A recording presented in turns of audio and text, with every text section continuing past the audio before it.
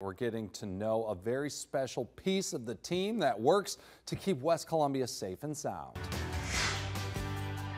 Well, do it anyway and do it well. That's the message from Gracie Landry, the newest firefighter at the West Columbia Fire Department. She's not only the newest team member, she's also the only female firefighter at the station. So I stopped by the West Columbia Fire Department to meet Gracie and hear how her passion for serving others led her to this career. It's a male-dominated field. But that never stopped Gracie Landry from pursuing her dream to become a firefighter. I hope you said your prayers today. Landry is the newest technician EMT with the West Columbia Fire Department. She is also the only female firefighter currently on the team. But that never deterred Landry from pursuing this career.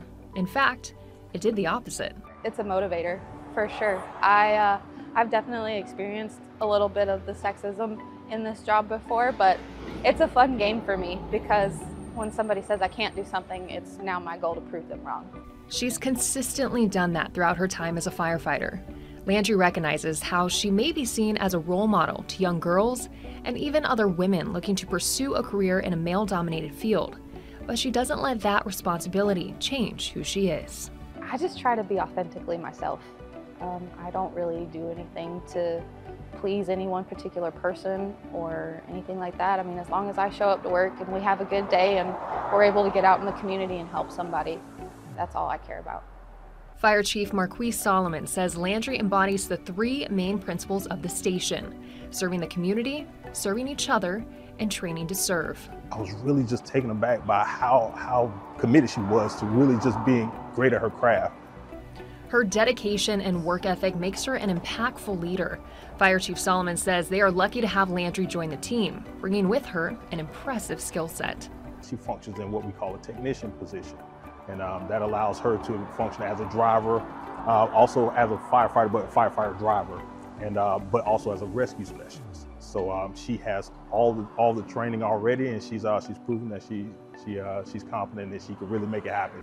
Being a first responder takes quick thinking, quick calculations, and quick decision making when they're responding to a call. But that's all in Landry's wheelhouse.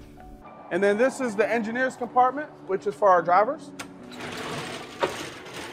If you need to make something work, she knows how to make it work.